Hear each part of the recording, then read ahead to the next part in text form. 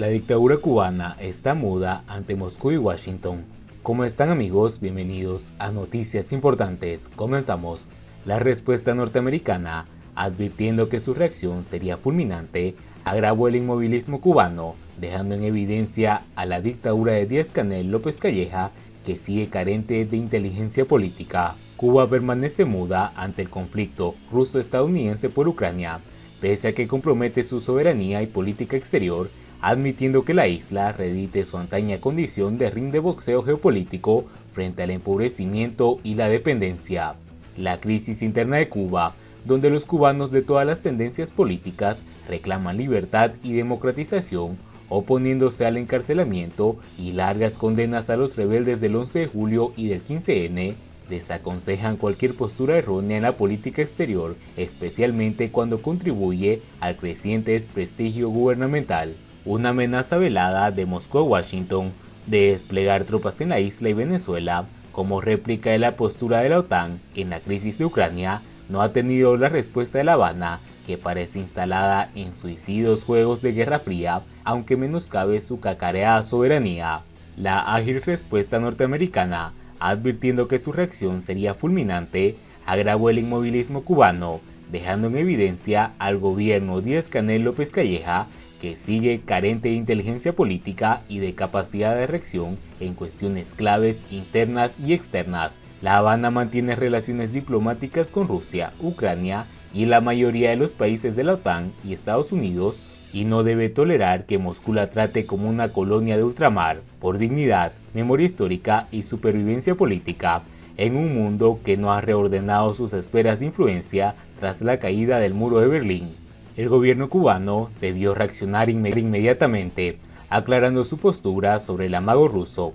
pero como lleva meses jugando a intentar dar celos a Estados Unidos a ver si consigue un salve, ahora no solo soporta que Moscú disponga de su suelo patrio como si fuera suyo, sino también la ágil respuesta de Washington en su respuesta sería fulminante. Un país pequeño, empobrecido y dependiente sacaría más ventajas de una relación fluida y mutuamente respetuosa con el vecino Estados Unidos que fantaseando en torno a una alianza táctica con Moscú, que ya usó la isla en otoño de 1962 y 1979, la abandonó a su suerte. Cuando el Kremlin comunicó a Raúl Castro que se acababa el plan de Piquitos y que Moscú ya no creía en lágrimas, desatando la Operación Pandora. La afrenta rusa sucede en dos conteos de protección previos del embajador ruso al gobierno cubano por la picaresca oficial de diagnosticar falsamente a turistas de su, turistas de su país con COVID-19, advirtiendo que no podía volver a pasar y cuando asistió a la entrega de una donación de alimentos, aclarando que era un regalo de Moscú que no podía venderse como hacen las autoridades cubanas con parte de la ayuda humanitaria que recibe. En ambas ocasiones, la dictadura Díaz-Canel López Calleja enmudeció, como hace ahora con la bravuconería rusa de desplegar tropas en Cuba, pisoteando su soberanía e intentando reeditar un esquema que empobreció la isla y con un presupuesto militar desproporcionado. Cuba está agotada y necesita de limosnas mundiales como las 100 toneladas de arroz vietnamita y un lote de guaguas japonesas ensambladas en Colombia que, en breve plazo, engrosarán el variado cementerio de chatarra rodante que exhibe, pero ello no justifica el silencio oficial ante un anuncio geopolítico de envergadura ante el que solo cabe una respuesta clara y firme. El gobierno cubano, obsesionado con retener su cuestionado poder a cualquier costo, obvió la ventaja de equilibrio que conceden sus vínculos con todos los actores de la crisis,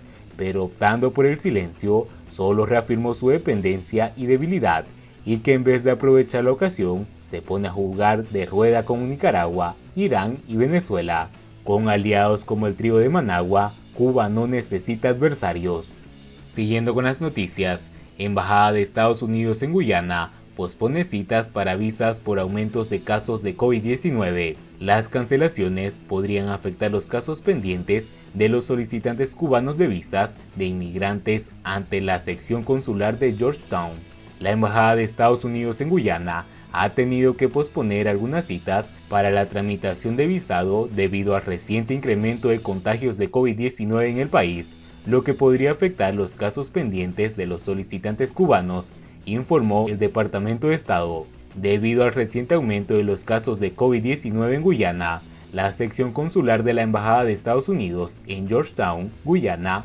está operando con una capacidad reducida, dijo un alto funcionario del Departamento de Estado. La embajada estadounidense ha tenido que posponer algunas citas para proteger su personal y a los miembros del público que visitan la sección consular. El funcionario señaló que todos los solicitantes afectados recibirán una comunicación oficial si un solicitante no recibe una comunicación de la Embajada de Guyana, su fecha de cita original se mantiene. La sección consular sigue ofreciendo citas para los servicios a los ciudadanos estadounidenses, agregó el funcionario, que recomendó a los solicitantes de visados de inmigrantes no viajar a Guyana hasta que tengan una cita confirmada. La declaración de las autoridades estadounidenses se produce luego de que a comienzos de esta semana circularán versiones, circularán versiones sobre la interrupción del servicio consular en la sede de Guyana, donde se procesan las visas de inmigrantes cubanos desde el año 2018. El día miércoles,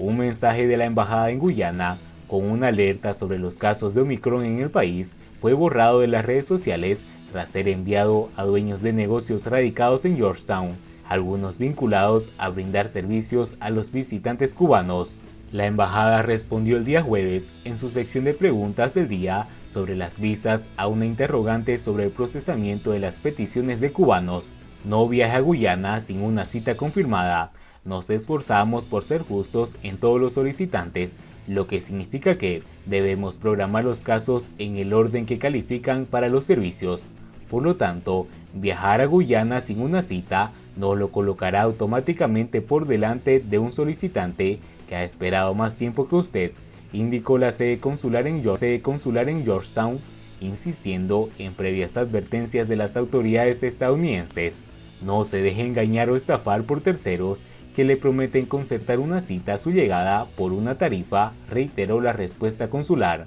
El Departamento de Estado recordó que la propagación del COVID-19 obligó a drásticas reducciones de la capacidad de tramitación de los visados en las legaciones estadounidenses en todo el mundo y agregó que numerosos consulados continúan enfrentando desafíos del personal desde comienzos de la pandemia. Las autoridades alertaron también sobre los fraudes en el proceso de solicitud de visados de cubanos en Guyana con promesas falsas de adelantar las citas programadas. El proceso de otorgamiento de visas para cubanos se ha visto restringido al mínimo desde finales de 2017, cuando la administración de Donald Trump decidió retirar el 60% de su personal diplomático en Habana y descontinuar los llamados ataques sónicos